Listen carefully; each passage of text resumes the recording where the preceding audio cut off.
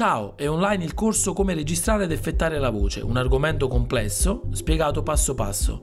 Molti cantanti, rapper o semplicemente appassionati potranno capire e provare nella pratica come è possibile rendere una registrazione da home studio di altissimo livello tecnico-qualitativo. Un corso completo che potete trovare nel link in descrizione, quindi se vi va date uno sguardo. I processi che solitamente si applicano sulla voce sono diversi.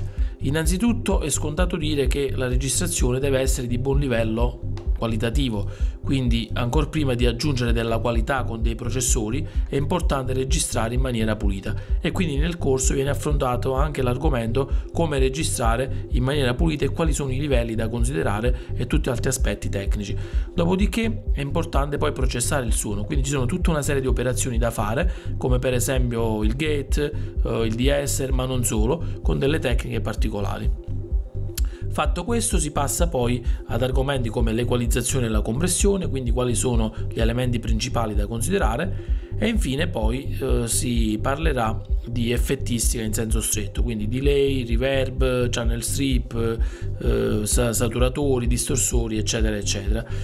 È ovvio che eh, quando si applicano questi effetti c'è anche una catena da seguire, a parte poi quelle che sono le tecniche, e il discorso riguarda anche il, la voce principale rispetto magari a delle voci secondarie o delle voci eh, che vanno a fare da coro o da contorno alla voce principale.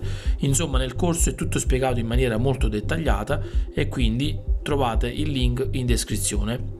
Ciao, alla prossima!